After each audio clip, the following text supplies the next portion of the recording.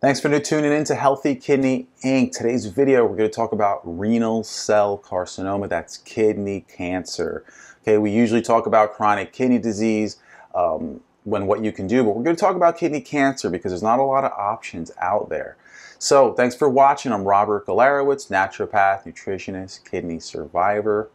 Now, when it comes to renal cell carcinoma, kidney cancer, the treatments are to cut out cut out the tumor, cut out the cancer in your kidney, so it'll be a partial nephrectomy, or just take out your whole kidney, a total nephrectomy, where they remove the kidney that's affected.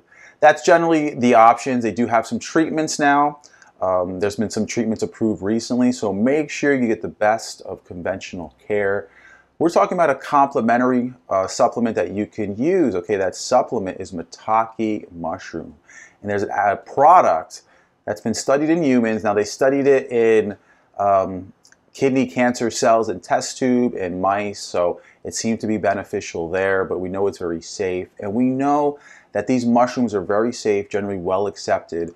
And in most very progressive uh, oncology treatment programs, cancer centers, they're accepting and they're okay with you using a mushroom product.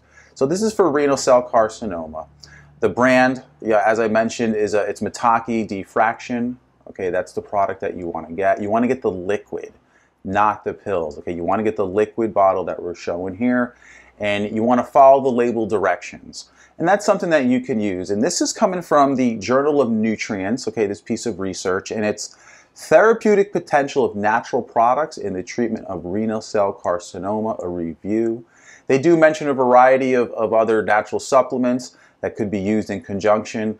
Um, but as I look at the list, the one that I feel the most comfortable recommending is the Maitake D-fraction liquid form. It's a dropper form.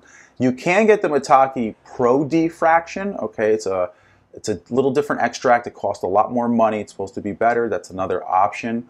So you do have those. So look those up on the internet. Decide if that's right for you. Talk to your doctors about it. But that's an option. And thanks for watching, everybody. Um, a lot of the options, a lot of the recommendations in the videos that I give about chronic kidney disease will apply to kidney cancer depending, you know, if the um, kidney is very damaged and you know, you're in a stage of kidney disease. So make sure to take a look at everything else we have here. Thanks for watching and to your best kidney health.